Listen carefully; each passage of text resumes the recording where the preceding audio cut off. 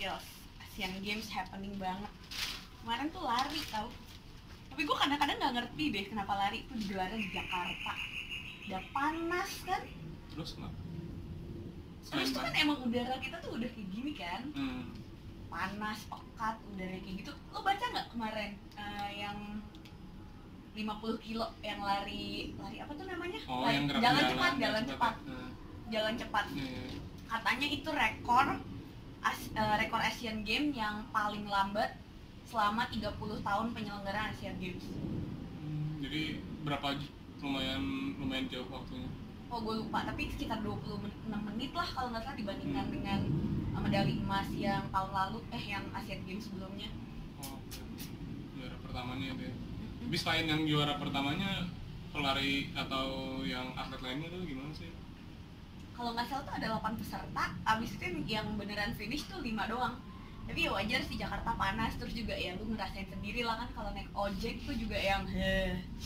iya lima jangankan lari jangankan jalan cepat 50 kilo kita jalan kaki biasa di pinggir jalan pun udah ngerasa nggak nyaman gitu dengan Banget. udara gue tuh baru inget kemarin tuh pas banget sebenarnya momentumnya gue baru nulis di Monga Bay yang intinya tuh ngomongin soal Asian Games dan kesehatan lingkungan gitu deh.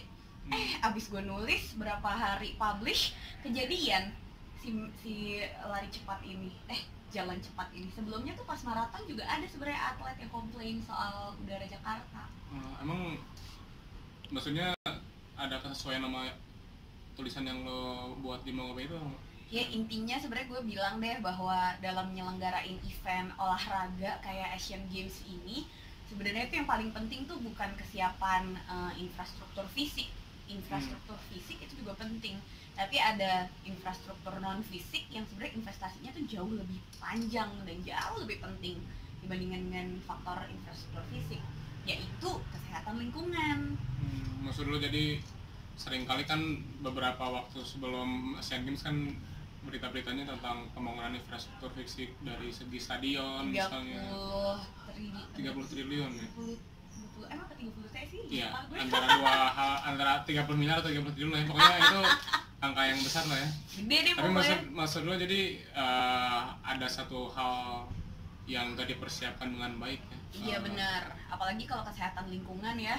Misalnya tadi kita ngomongin soal udara gitu kan. Lo lari 50 kilo nyirep asap knalpot gitu kan ya gimana coba.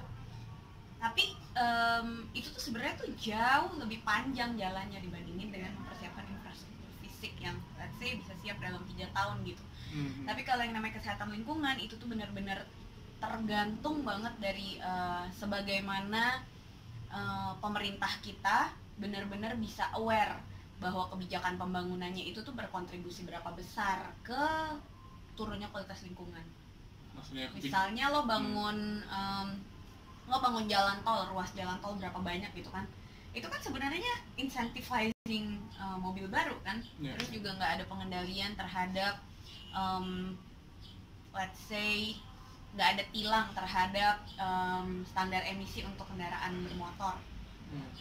kan lama-lama kan ya mobil nambah eh, emisinya nggak dikontrol udah gitu banyak lagi kan di sekeliling Jakarta daerah industri pembangkit baru yang dibangun. Yang lama-lama nggak terakses seberapa jauh si udara ini bakalan turun kualitasnya. Kita juga gue selama hidup di Jakarta masih bertanya-tanya juga ya mungkin ada berapa banyak sumber pencemar di Jakarta? Jadi maksud lo tadi lo bilang ada kendaraan bermotor kan motor mobil. Tapi tadi tadi juga lo bilang ada yang industri. populer itu sih industri sama pembangkit listrik emang di Jakarta ada ya? Eh, atau ya di sekelilingnya lah yang Hmm. daerah-daerah Karawang terus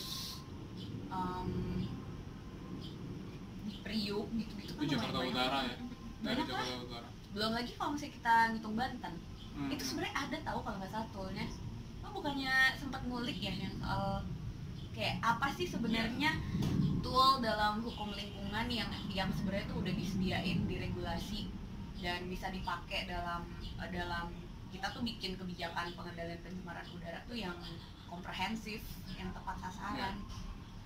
S- eh, bacaan gue dari peraturannya sebenarnya peraturan pemerintah nomor 41 tahun 1999 tentang pengendalian pencemaran udara emang itu ada salah satu alatnya tadi instrumennya itu inventarisasi emisi atau sumber pencemarnya. Memang aturannya sih mengamalkan kepada eh, pemerintah provinsi ya dalam hal ini gubernur sama instansi lingkungan hidupnya. PP tahun 99 ya? 99 ya. Berarti sampai sekarang berapa tahun tuh? 19 tahun? Iya hampir ya hampir mau 20 tahun ya. udah ada belum barangnya?